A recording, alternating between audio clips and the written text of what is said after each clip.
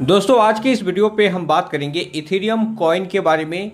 Ethereum coin के mid सितंबर में काफ़ी बड़े अपडेट है।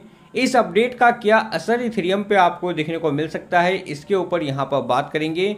साथ में आप short term and long term में क्या टारगेट रख सकते हो, किस प्राइस में इथेरियम को बाय करना चाहिए, इसके ऊपर यहाँ पर डिस्कस करेंगे।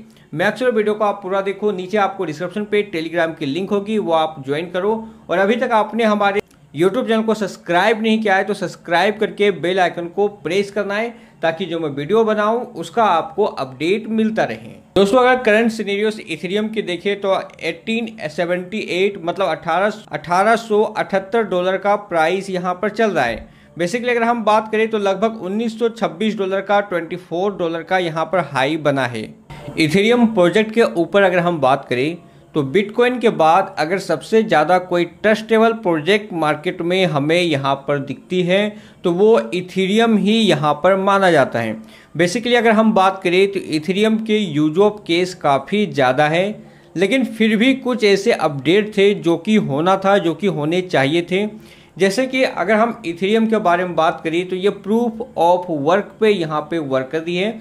मतलब जो इसकी ब्लॉकचेन है उसे आप प्रूफ ऑफ़ वर्क के हिसाब से बता वो प्रूफ ऑफ़ वर्क पे यहाँ पे काम कर रही थी और इस हिसाब से अगर इथेरियम की आपको माइनिंग करनी हो, जैसे कि अगर बिटकॉइन की माइनिंग करनी हो तो उसके कई सारे सेटअप माइनिंग मशीन्स हो हार्डवेयर्स हो हाई इलेक्ट्रिसिटी कंजप्शन हो तो काफ़ी ज़्यादा ये सब की यूजेस होते हैं।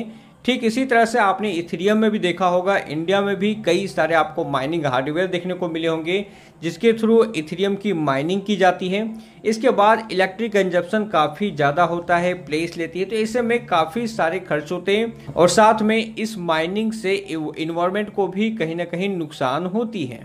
तो बेसिकली जो इसकी अपडेट है कि इथेरियम की जो ब्लॉकचेन है, वो प्रूफ ऑफ़ वर्क से अब प्रूफ ऑफ़ स्टेक में चली जाएगी और ये आपका हो सकता है 15 सितंबर से लेकर 20 सितंबर तक में। मतलब मिड सितंबर में कभी भी ये न्यूज़ आपको देखने को मिल सकता है कि इसकी जो ब्लॉकचेन है वो प्रूफ ऑफ़ स्टैकिंग पे वर्क करेगी। प्रूफ ऑफ़ स्टैकिंग के बारे में बात करें तो जिस तरह से आप अपनी क्रिप्टो को स्टैक करते हो तो उस तरह से आप इथेरियम की स्टैकिंग करके आप अपने यहाँ पर जो माइनिंग होती है, वो आप यहाँ पे कर सकते हो।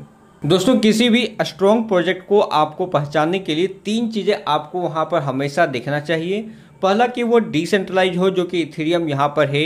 दूसरी, अगर हम बात करें तो सिक्योरिटी जो कि काफ़ी इंपॉर्टेंट है। क्रिप्टो मार्केट में स्कैम्स काफ़ी ज़्यादा होते हैं। और अगर बात करें तो यहाँ पर सिक्योरिटी काफ़ी ज़रूरी है। आपको याद होगा इथेरियम बेस कोई भी टोकन हो या इथेरियम पे आज तक आपने किसी तरह का साइबर अटैक किसी भी तरह की आपने ऐसे किसी भी तरह का आपने साइबर अटैक वगैरह आपने नहीं देखी है तो काफ़ी ज़्यादा सिक्योर है। तीसरी, अगर हम यहाँ पर बात करें तो उसकी जो मैकेनिज्म होती है, जो ब्लॉकचेन होती है, अगर वो प्रूफ ऑफ़ स्टैक पे वर्क करती है मतलब वो स्केलेबिलिटी होती है तो काफ़ी ज़्यादा चांसेस बनता है कि वो आने वाले टाइम पे और ज़्यादा आपको बुलिस देखने को मिल सके। तो सेम हमें इथेरियम पे अब हमें यहाँ पर देखने को मिल रहा है। ये डिसेंट्रलाइज थी, जो कि सभी जानते थे और साथ में काफ़ी ज़्यादा सिक्योर थी। लेकिन अब यहाँ पर स्केलेबिलिटी के बारे में बात करें तो अब इथेरियम का जो ट्रांजेक्शन है, वो काफ़ी ज़्यादा स्केलेबल हो जाएगा। मतलब कि अगर आप किसी को इथेरियम ट्रांसफ़र करते हो तो पहले जो फ़ी करती थी, जो काफ़ी ज़्यादा हुआ करता था मतलब अगर आप ट्वेंटी डॉलर किसी को सेंड कर रहे हो तो ऐसा होता है कि बीस डॉलर का आपका फ़ी ही वहाँ पे कट जाती है। तो ऐसे सिचुएशन पे जो आपका फ़ी है, वो काफ़ी ज़्यादा बचेगा। और जब ये स्केलेबिलिटी यहाँ पर होगी तो इथेरियम की ट्रांजेक्शन स्पीड भी काफ़ी ज़्यादा स्मूथ होगी। और जो इसकी चार्जेस होंगे, वो काफ़ी कम हो जाएँगी। अब ये चीज़ें अगर होती हैं यहाँ पे तो आने वाले टाइम पे इथेरियम का जो यूज़ ऑफ़ केस है वो और ज़्यादा यहाँ पे बढ़ेगा और इससे इथेरियम के प्राइस में आपको बुलिस सेगमेंट्स देखने को मिलेंगे। तो इथेरियम मर्ज का ये अपडेट मतलब इसकी प्रूफ ऑफ़ वर्क से proof of proof of staking पे ये ब्लॉकचेन का यहाँ पर जो ट्रांसफ़र होगा, जो कन्वर्सन होगा इससे इथेरियम को काफ़ी ज़्यादा फ़ायदा होगा। और जो इथेरियम के डैप से मतलब जो भी यहाँ पर इथेरियम में अपने प्रोजेक्ट लाना चाहते हैं, उसकी यहाँ पर काफ़ी ज़्यादा बचत होगी और इससे में प्रोजेक्ट काफ़ी ज़्यादा हाइप यहाँ पे क्रिएट करेगी। अगर हम बात करें कि कौन कौन से ऐसे प्रोजेक्ट हैं जो पोस्ट मतलब प्रूफ ऑफ़ स्टैकिंग पे चल रहे हैं तो यहाँ पे कई सारे प्रोजेक्ट है जो आप देख सकते हो। कार्डेनो है सोलाना है एल्गो है, इसके बाद एक्सटी जेड है और ये सब जब भी यहाँ पर प्रूफ ऑफ़ वर्क से प्रूफ ऑफ़ स्टैकिंग पे यहाँ पर कन्वर्ट हुई तो उसमें काफ़ी अच्छा हाइप क्रिएट हुई और काफ़ी अच्छा इस तरह के कॉइन ने काफ़ी अच्छा पंप यहाँ पर किया है। तो पिछले कुछ टाइम से अगर आप यहाँ पे देखोगे तो 950 डॉलर का लो बनाने के बाद ये सीधा यहाँ पे अगर आप देखोगे तो 2000 डॉलर तक का हाई बनाया है। सिर्फ़ इस न्यूज़ के कारण और ये काफ़ी बड़ी अपडेट यहाँ पर हमें देखने को मिल रही है। दोस्तों, अगर ये न्यूज़ आप ये सपोज़ करो कि 2021 में अगर आई होती इथेरियम मर्ज के बारे में तो यकीनन इसकी जो इथेरियम का जो प्राइस था, वो आपको 10-12 हज़ार डॉलर पे देखने को मिल रहा होता। लेकिन अभी फ़िलहाल बेरिस मार्केट है और इस कारण से अगर हम देखें तो इथेरियम के प्राइस में जो पंप होना चाहिए था, वो अभी फ़िलहाल यहाँ पर नहीं हुआ है।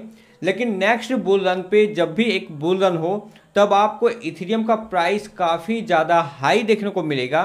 रीजन अगर हम बात करें तो इस बार, जैसे कि आपने इस बुल रन पे आपने देखा बाइनेंस स्मार्ट चेन पे काफ़ी सारे टोकन आना शुरू हुए।